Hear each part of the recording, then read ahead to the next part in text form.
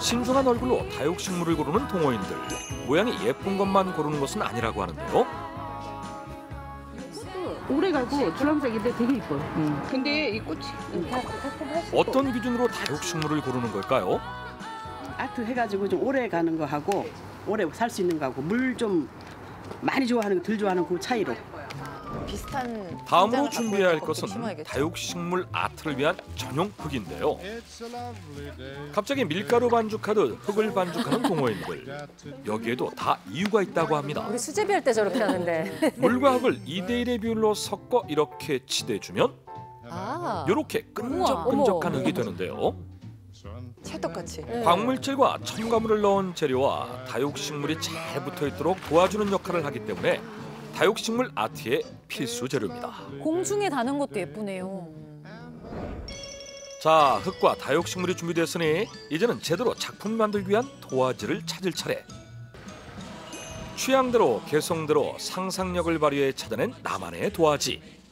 옛날 향수에 젖어서 이 자전거를 생각해서 이걸 또한 소품으로 이용해서 한 멋있는 작품을 한번 구성하려고 해- 해서 이걸 선택했습니다. 만약 나만의 도화지가 없다면요? 어디 가세요? 저희 보물 창고에 가요. 보물 창고로 가는 발길이 참 가벼워 보이는데요. 아니 그런데 여기 보물 창고가 맞나요? 꼼꼼하게 뭔가를 고르는 동호인. 이게 설마 동호인들의 보물? 꽤 쓸만한 것들이 많이 나와요. 그래서 이제 재활용하는 것들도 많이 나오기 때문에 제가 필요한 것들 찾아가요. 버려진 물건으로 훌륭한 주전자? 작품을 만들 수 있는. 다육식물 아트 준비 완료. 본격적인 작품 제작에 돌입. 첫 관문은 작품의 크기와 식물의 배치를 고려해 다육식물을 다듬는 것. 잘라도 되나 보죠? 생장점을 살리면서 줄기를 자라낸 다육식물을 미리 준비한 다육식물 아트 전용 흙에 조심스레 심습니다. 가장자리 흙을 이렇게 다독거려 주는 거예요.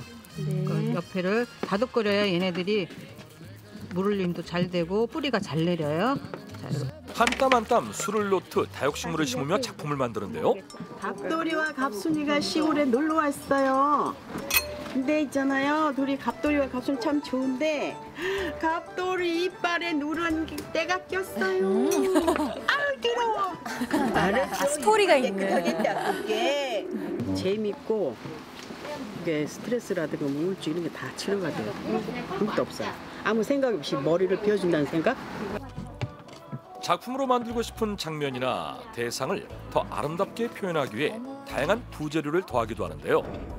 이렇게 생모래를 어허허. 더해 행복한 얼굴을 만들 수도 있고 꽃잎. 네, 이국적이에요. 벽에 걸어놓기 좋은 액자도 만들 수 있습니다. 작은 모형을 활용하거나 소품을 도화지 삼아 만들 수도 있는데요. 자, 행운을 가져다주는 다육식물 배달 왔습니다. 아, 자전거에. 네. 작품 속에서 뿌리를 내리고 살아가기 때문에 만드는 것이 쉽지 않지만 거기서 느끼는 즐거움도 있다고 합니다.